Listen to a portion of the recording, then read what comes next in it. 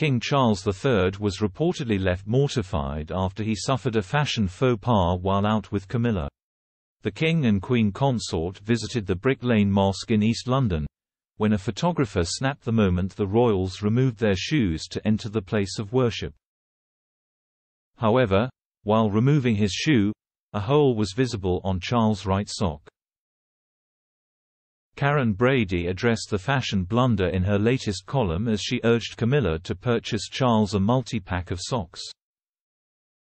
Writing in her latest column for The Sun, she said, I've always loved the fact that, despite growing up in palaces and surrounded by riches, Charles has been the king of thrift.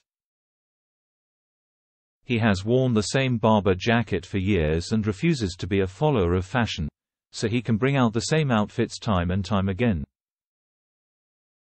The Apprentice star went on to say when the royal took off his shoes, a hole was clearly visible, as she urged him to do better in public.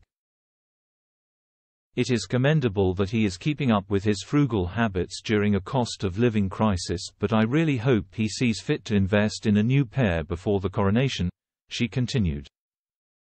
Meanwhile, it has been reported that the royals are fully expecting Prince Harry and Meghan Markle to attend the coronation of King Charles III.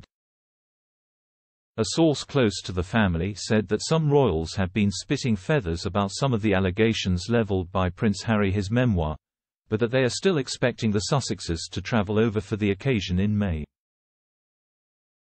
The source said, Members of the family have told me that both Harry and Meghan will definitely come. They fully expect that. And they should realize that there is only one subject that many members of the royal family will be willing to discuss, and that's the weather.